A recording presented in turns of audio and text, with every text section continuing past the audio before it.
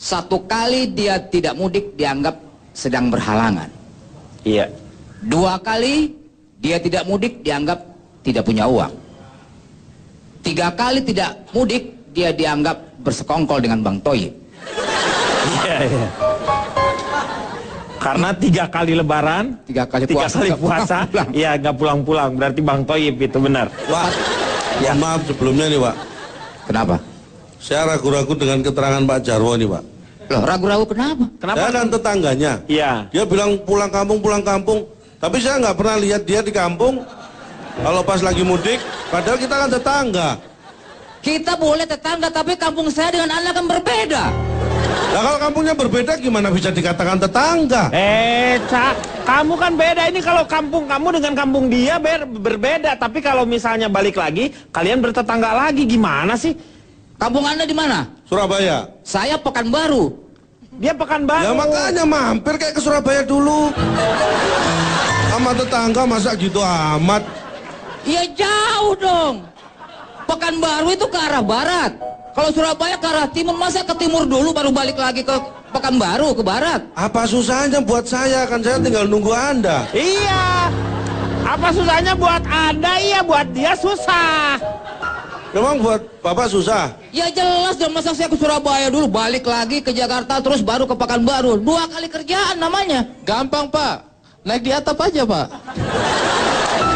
Anda tuh, lihat wajah Anda seperti itu gara-gara naik kereta batu bara jadi begitu. Ikut-ikut aja Anda itu. Ya nggak bisa dong calontong. Kita boleh bertetangga, tapi beda kampung kan kita. Lain kali kalau milih tetangga yang sekampung dong Pak. Ya Anda sendiri kenapa tinggal dekat rumah saya?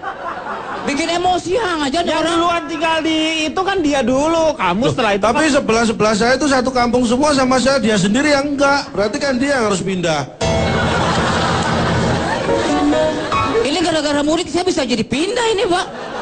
enggak dong, enggak, enggak apa-apa, enggak apa-apa. Sabar dong, Nijam. Nijam harus sabar ya.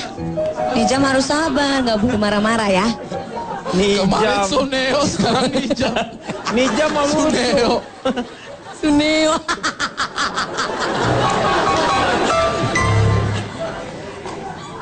Ya udah Pak, diputuskan aja sekarang. Bapak pulang ke kampung sendiri, saya pulang kampung saya. Ya iya emang Ya gitu. iya.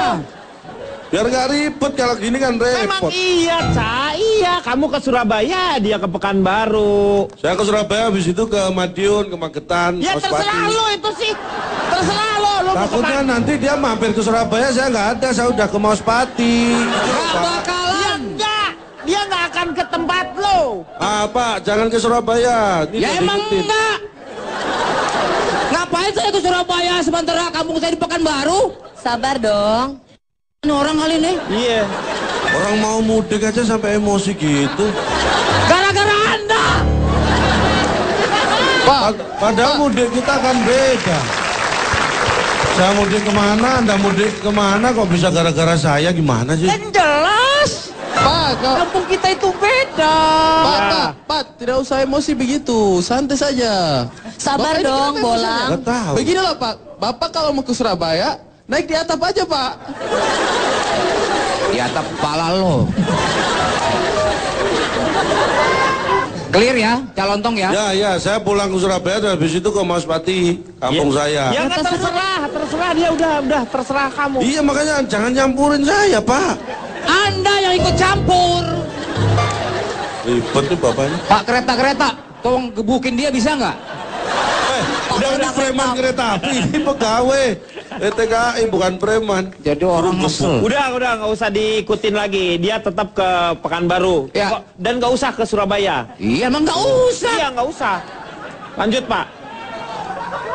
Tapi Bapak pergi ke Mospati nggak? Ke Mos- Enggak. Berarti dicoret nih di sini. Ya jangan lagi nih iseng aja dicatat. Enggak, iya takutnya. Dia juga. Saya yang ke Mospati. Iya, makanya dia takutnya dia ke Mospati juga. Nggak usah. Jangan, jangan, dicoret. Pak, jangan. Yang emang enggak. Oh, ya udah. Lanjut, Pak. Ya Allah lindungi Baim ya Allah.